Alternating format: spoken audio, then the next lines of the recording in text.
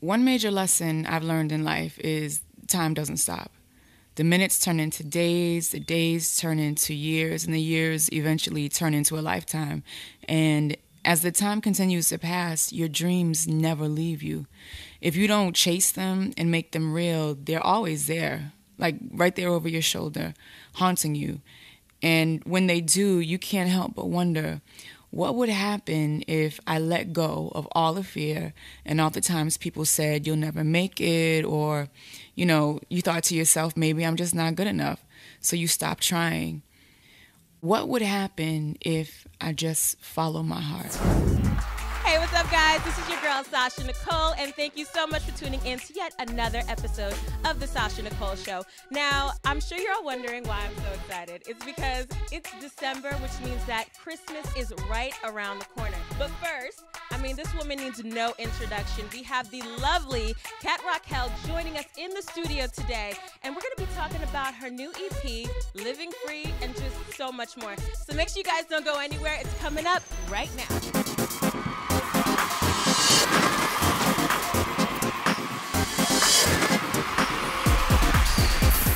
Welcome back, guys. Joining me on our stage right now, we have the lovely Miss Katt Rockell.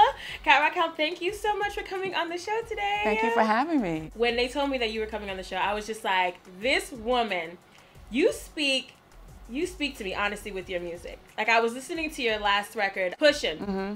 and honestly, I really feel like that's the anthem for the up and comers, the grinders, the Yes. everyday nine to fivers. Yes. Like, it's just like it's the song is just so uplifting, but it's so real. Mm-hmm, the song. I don't know if you guys have listened to it, but take a minute to listen to it if you haven't. Why don't you tell the people a little bit about you, Mm-hmm. where you started off from, what you're doing now? Just give them a little brief intro.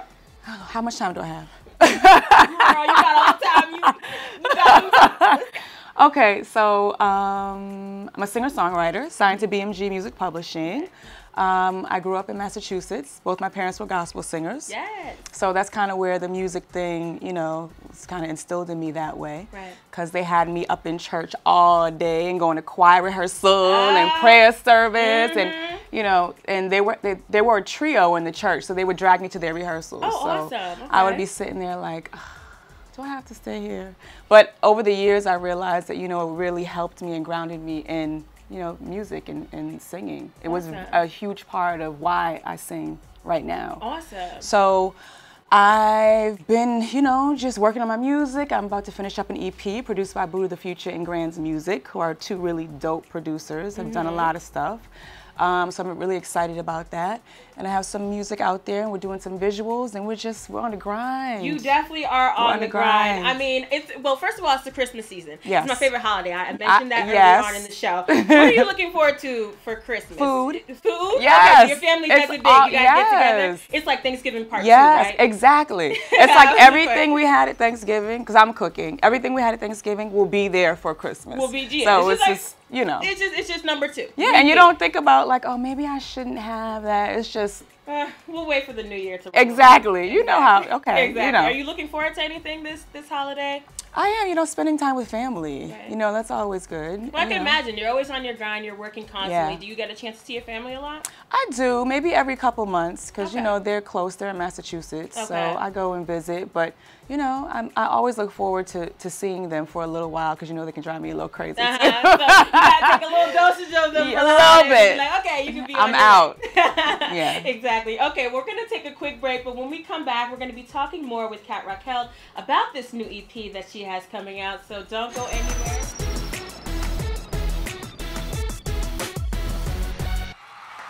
All right, guys, we're back. Katt Rockell is still in the studio rocking it out with us today. Hey. All right, so Katt, you have two singles that came out. You have Pushin' and you also have um, Living Free. Mhm. Living Free.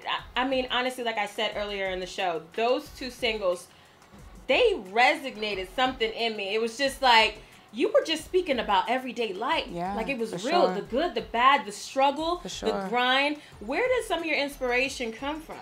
Um, uh, life. You know what I mean? Um, for some reason, with my writing, a lot of it is about um, just empowerment, you know, and Right. the things that we all, you know, it's, it's great to turn up and go to the club. You know, we all have those moments. Um, A lot more than we should. so some of us a lot more than we should. But we have those moments. But um, Right. I don't know. It's just something within me that speaks to the struggle. Mm-hmm. You know what I'm saying? And um, it's it's a natural thing that kind of comes through in my music, and I think people need that right now. Definitely. The world is a little crazy right now. Right. You know, and I think that.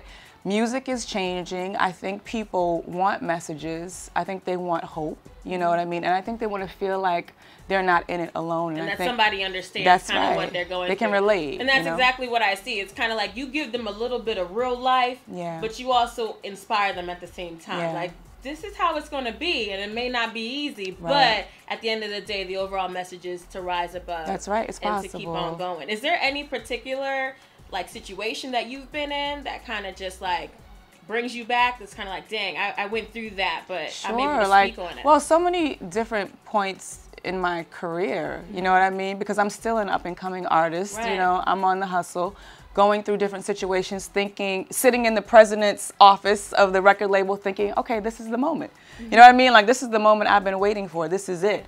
Like, and having somebody say, you know, we want to do this, we want to do that, and thinking that this is the moment that you've been dreaming about. Mm. Right. You know, for so long and. Everything just kind of changed. You know, the music industry is it's a roller coaster. It really it's up and down, up and down, up and down. Only the strong survive for real. Exactly. You know what I mean? And you've been in it for a minute now. Yeah. I mean, you started doing songwriting. I mean, Yeah. for a whole bunch of musicians. You signed a publishing deal with BMG. Right. So how was that experience for Well, you? it was interesting because initially I was more just like I want to just be an artist. You know, I wasn't really trying to write for other people. Right. And at that time, I ended up getting with a manager that was like, you know, it's another way to get your foot in the door, and you can write, so why not try it? So I literally just went in and did song after song after song. He hooked me up with all these different producers, mm.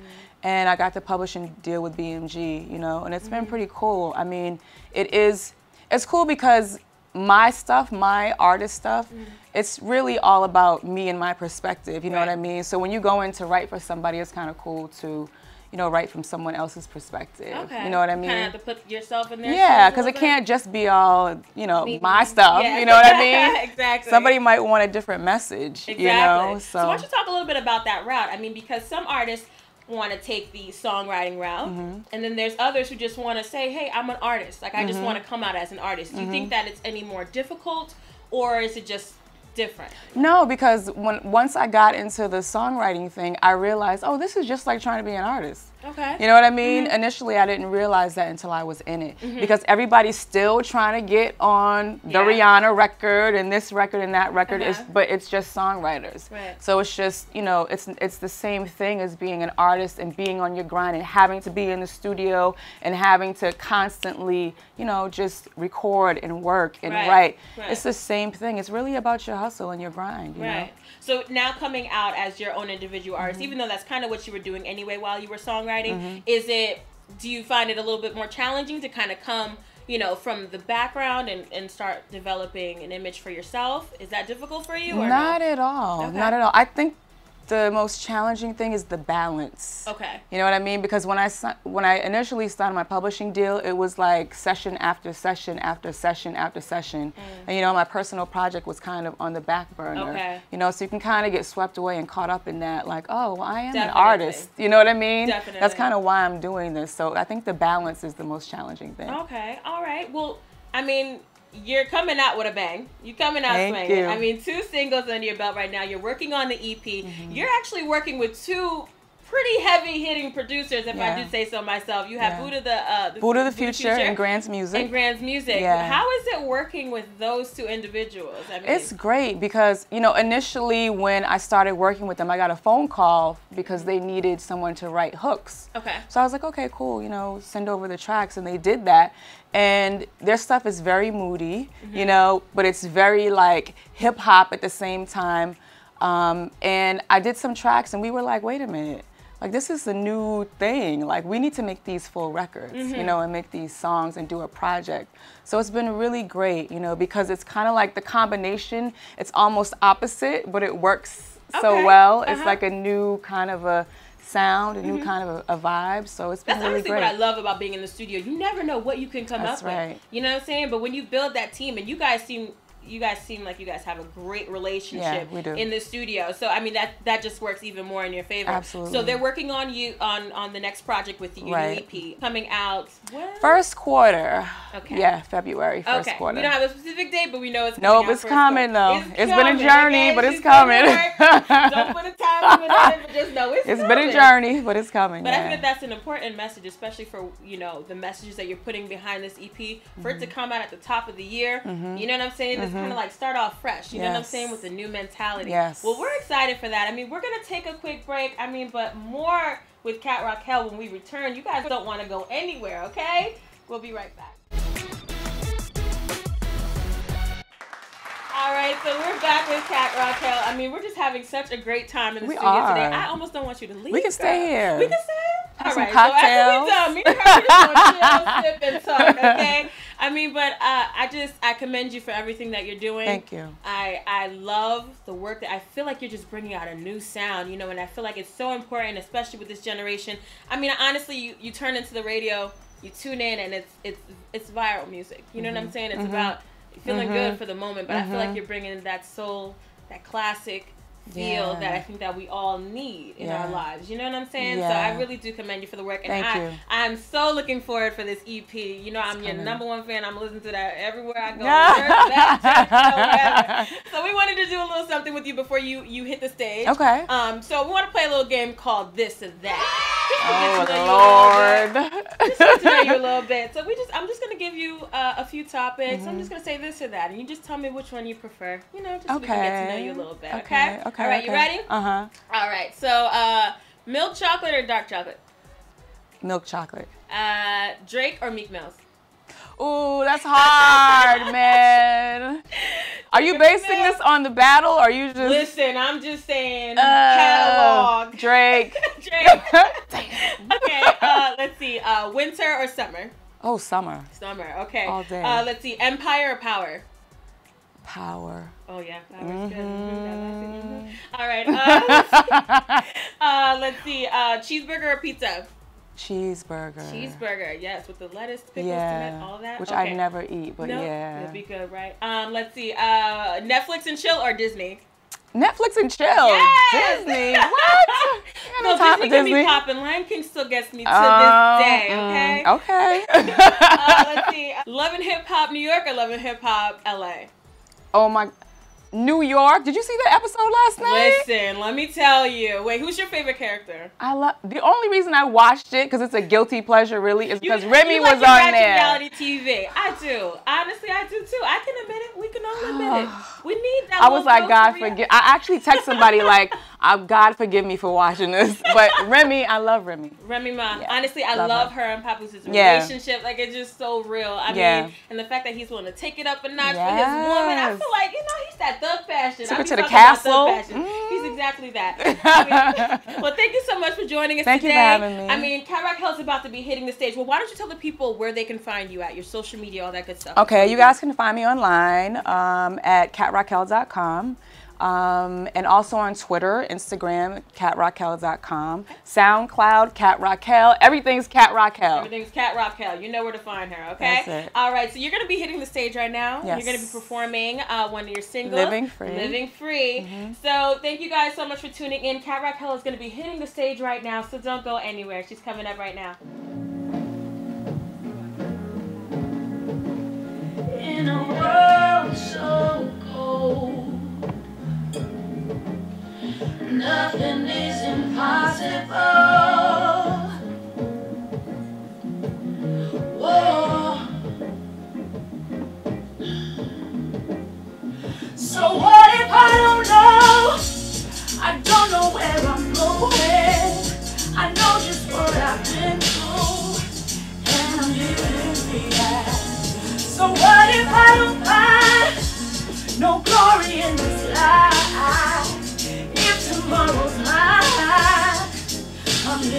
Free. I've seen the best of the worst.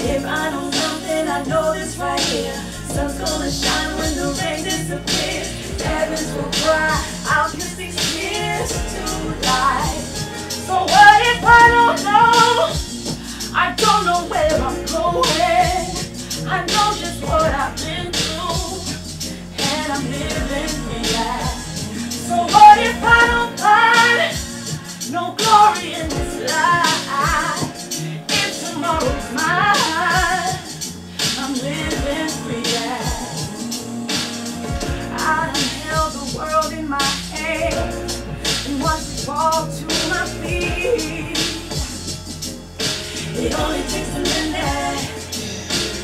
Lock myself inside the walls of my mind, lost in my dream. Trying hard to believe. If I know something, I know this right here. Sun's gonna shine when the rain disappears. Heavens will cry, I'll kiss these tears goodbye. So what if I don't know just what I've been.